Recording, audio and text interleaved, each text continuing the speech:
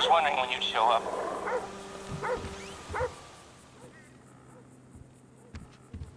Welcome to paradise. if your idea of paradise is a place where a sick, creepy voyeur can spy on anyone in the country with total impunity. Actually, I guess that kind of is the American dream, huh? Hmm. Anyhow, uh, I digress.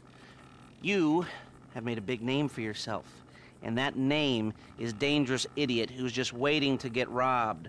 So do yourself a favor and put some of that uh, not so hard earned money into real estate, and you can be a real player, just like me.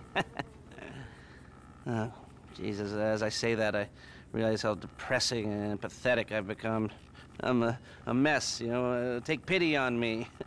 End it now, kill me. Ah. and I thought it was funny. Okay. Well, like I said, put some of that money into property. There's already people who want to rob you. Soon enough, there will be people who want to kill you. And if anybody gets particularly fresh, just give me a shout. I can put a bounty on them, and every whack job in the state will want to get them off your back for you. Of course, never know. Maybe someone asked me to do it to you. well, that was awkward.